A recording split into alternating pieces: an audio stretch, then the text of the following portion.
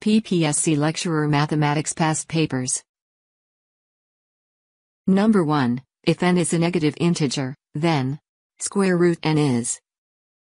Answer is, if n is a negative integer, then square root n is a pure imaginary number.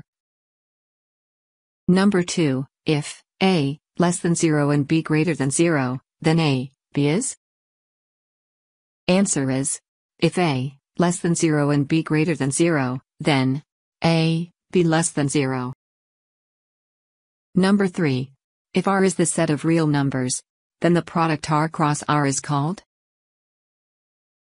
Answer is, if R is the set of real numbers, then the product R cross R is called Cartesian product. Number 4. When we look an object above the horizontal ray, the angle formed is called.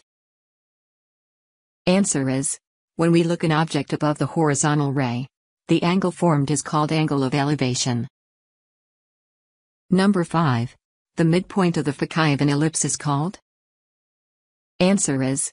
The midpoint of the foci of an ellipse is called center.